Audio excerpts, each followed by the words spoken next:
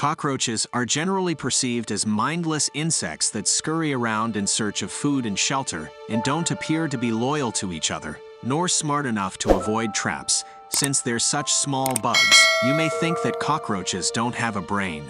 But this is far from the truth. Cockroaches are social insects that live in groups or colonies, which can consist of hundreds or even thousands of individuals.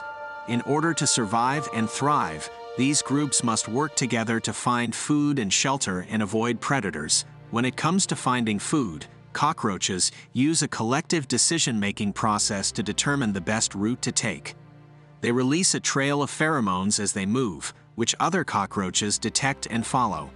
As more and more cockroaches follow the trail, the concentration of pheromones increases, making the trail even stronger and more attractive to other members of the group.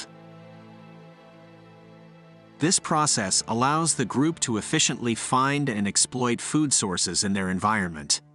Similarly, when searching for shelter, cockroaches will gather information about potential nesting sites and collectively decide on the best location.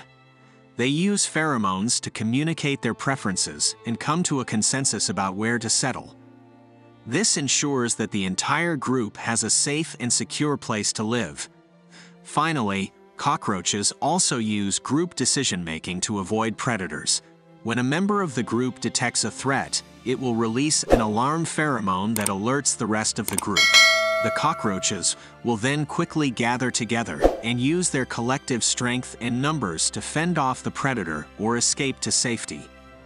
Thanks for watching and don't forget to subscribe for more animal facts.